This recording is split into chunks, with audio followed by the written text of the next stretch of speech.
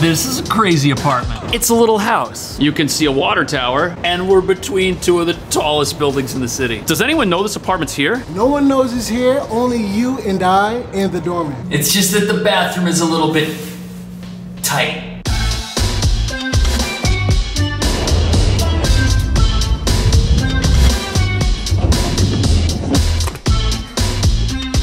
Here we are in Manhattan, Midtown West. Today we're looking at apartments just a couple of blocks north of Times Square near the Late Show. This is a very convenient part of town. Lots of subway transit. There's an army of city bikes, which no one wants to use today. And of course, there's always cabs. We're also half a block from this other station. You can get pretty much anywhere if this is where you live.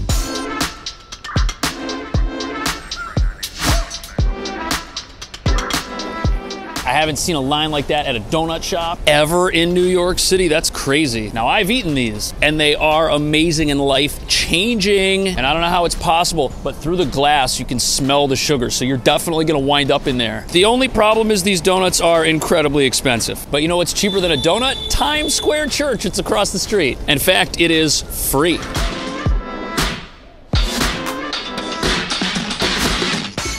Now, this neighborhood's technically part of the theater district, and that might be why there's restaurants everywhere. But the great news is that since all this stuff is around the corner from the apartment, you can just walk outside and find something to do.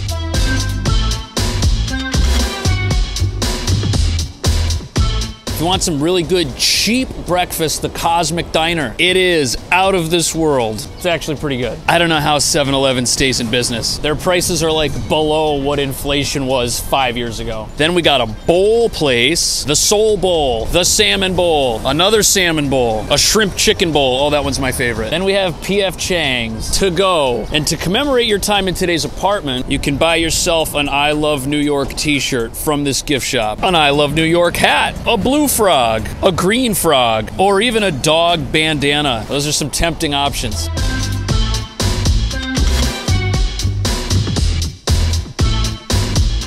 Nothing like a good bowl of ramen on a cold day. This is usually what I get, nice and spicy. There's also some sort of flower store over here. I guess that's here. Looks like it's been here since the dawn of time. And there's an improv theater. If you go there, your jokes will be as terrible as mine. Right over here, long line, looks like a local bagel place. Must be good. People are eating outside and it started raining. For local coffee, we got ourselves a blank street, Cucina Italiana, and we're next to an actual full-size real supermarket. They have shopping carts. It's not a bodega. And you can even ride one of the horse-drawn carriages over to Central Park. Now, if there's too much GMO at Gristedes for you, you'll be happy that across the street there's a natural market. And look, they got some stuff that will calm you down according to the label. Whether it's nighttime or daytime, they will mellow you out, man. Whoa, and there's even a little Chick fil A. First apartment's just over here. McGee's. Sounds Italian. The flag's just a little bit faded. That's why it looks orange. It's not. Hey, yo! What's up? What are we looking at today? We are looking at a two bedroom and a one bedroom in this building. Thank you. Look at that. You can see it moving. This way? Yes. Oh, it's big.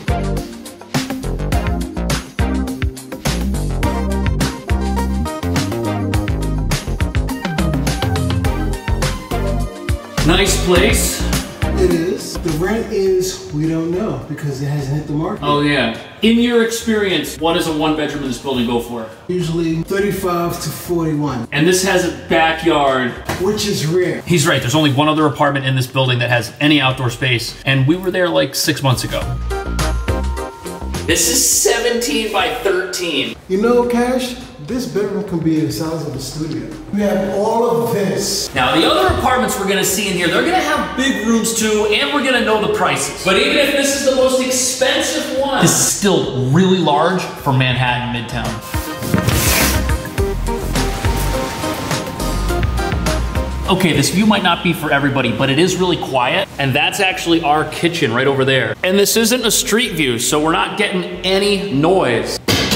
This is your heater. You got lots of outlets, and we've got two big closets. Nice and deep, but look at these crazy pipes. This probably used to be like a, maybe like a commercial building or something. Like just look at the outlets. They have uh, conduit piping and the ceilings here have all these beams and details in them. Anyways, in this room, you've got 16 places to put a king size bed and there's room for dressers plus a home office. But some of you will hate the bathroom location.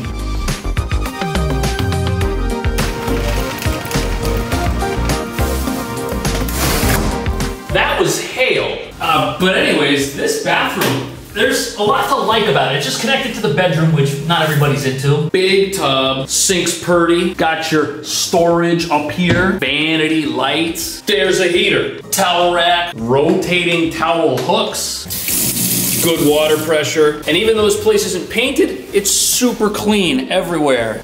And look at this, full length mirror on the door right there. I've shown apartments to people who just didn't want the bathroom and the bedroom to be next to each other. I don't, am I missing something? The rest of the layout here is awesome. We got a big coat closet. This is the foyer slash dining area. That's such a good idea. Put a dining table in here, it's big enough. A small table right over here by this window. Or if you don't make it a dining area, you could put a home office. Or a gallery. A gallery. Just line them up.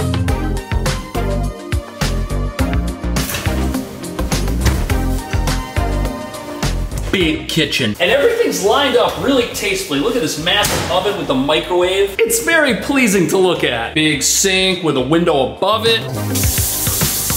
Water pressure solid, sink sprayer. But there might be too many cabinets. Is this really necessary?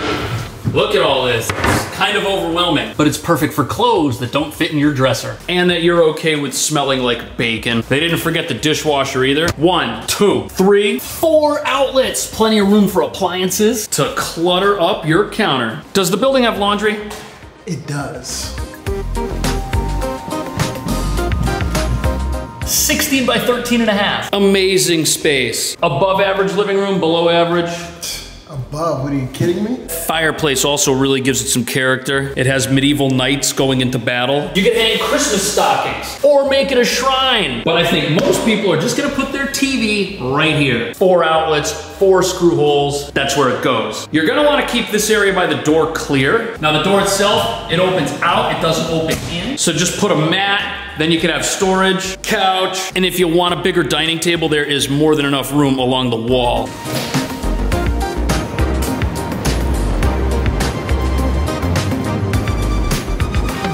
What do you think was going on out here in the past? Look, there's part of a birch tree and there's like flowers hanging off these vents under the barbed wire. There's no way back here. Like that's no man's land. Maybe it was a frat house. But you don't have to make this a frat house. You could just make it your own private little hangout as long as your definition of privacy includes all of these windows. But come on, let's be real. They don't have a great view of you. The windows over here are so dusty. Whoever works in here can't see anything. And you could also get yourself a little umbrella tent because this is big and there's power outlet and that door leads to the living room. We didn't have to walk out on some weird staircase or climb some twirly thing. So if you want to have a table with food that came from the kitchen, that's gonna be easy. And if you're worried about safety, it locks. And check this out, it stopped raining. Look at that, we got some natural sunlight in this little living room. And look, the bedroom became sunny all of a sudden. Can't believe how actually bright it is down here. Now the next apartment is gonna be really sunny.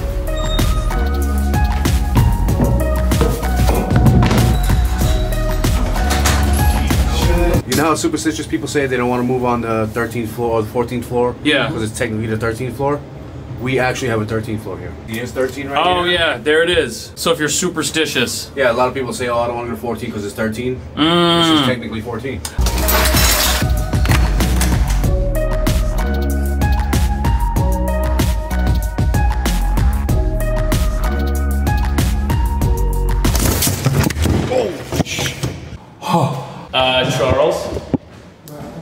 Your help.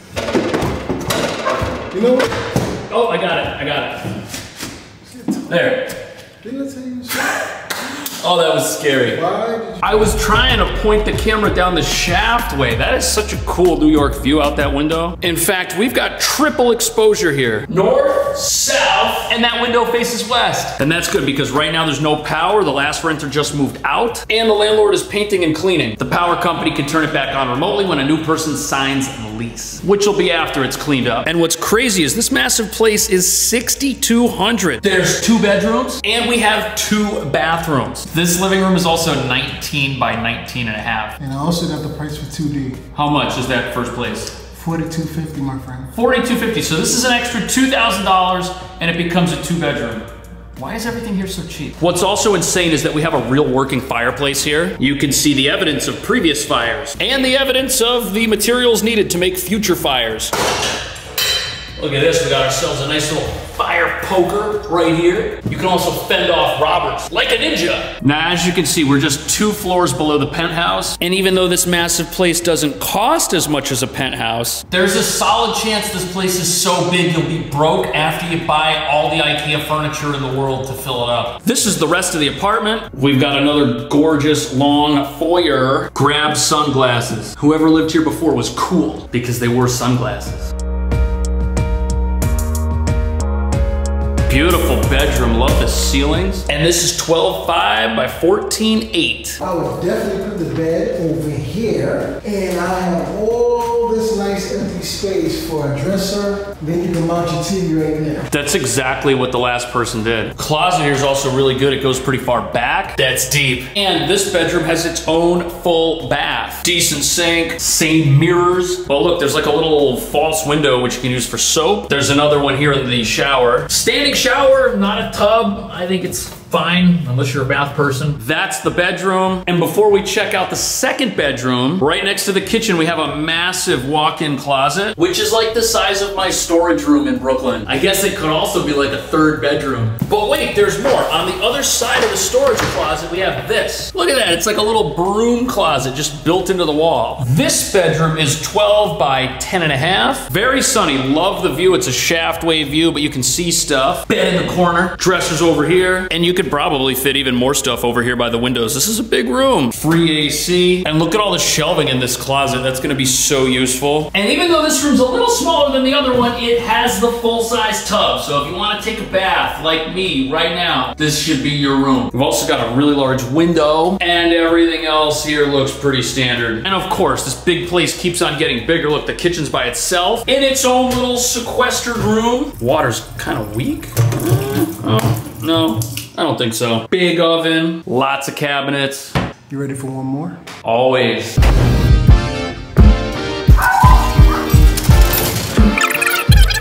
Sweet. That's Homeland Security.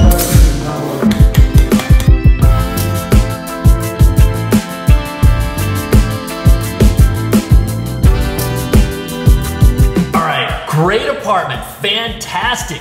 It's just a little dark in here because people just moved out of this one too. What is it? What is rent? The rent is forty-three seventy-five. And what you mean by dark?